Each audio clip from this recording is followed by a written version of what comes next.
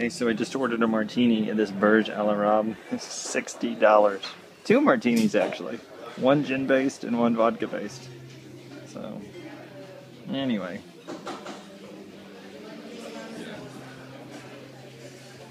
I have to pretend like I'm taking a picture because photos are not allowed. Although I'm sure people do it all the time. There's a really cool bar down there.